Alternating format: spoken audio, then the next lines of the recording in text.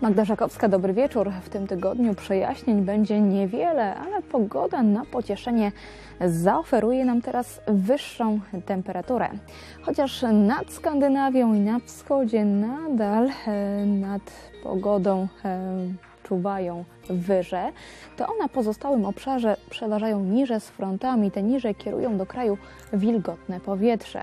Przy czym nad wschodnie regiony popłynie chłodne powietrze, a nad zachodnie i południowe dotrze teraz znacznie cieplejsze i to pokażą termometry już jutro.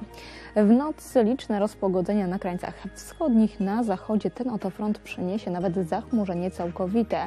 Tu, gdzie będą chmury, będzie też cieplej, bo temperatura nie spadnie poniżej 8 lub 6 stopni.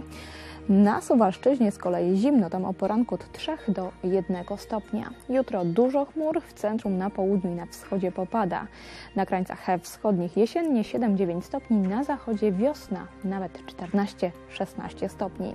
A w nocy w regionie zachmurzenie duże z przejaśnieniami 5 stopni. Tyle pokażą termometry o poranku. Powieje słabo i umiarkowanie z południowego wschodu. Jutro e, dużo chmur, pod koniec dnia opady deszczu we wschodniej części regionu.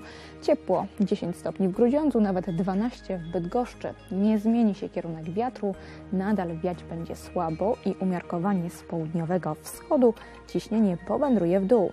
W środę e, pochmurno, deszczowo, ale ciepło, nad ranem nawet 8 stopni, w ciągu dnia powyżej 10-11. W czwartek rano mgły, w ciągu dnia przejaśnienia i nadal ciepło, bo około 11 stopni. W piątek niestety znów zachmurzy się, popada deszcz i popłynie chłodne powietrze. O poranku jeszcze ciepło, 6 stopni, ale w ciągu dnia niewiele więcej pokażą termometry, bo słupek rtęci nie przekroczy 7 stopni. Kolejna prognoza pogody tuż po wieczornym wydaniu zbliżeń. Zapraszam. Do zobaczenia.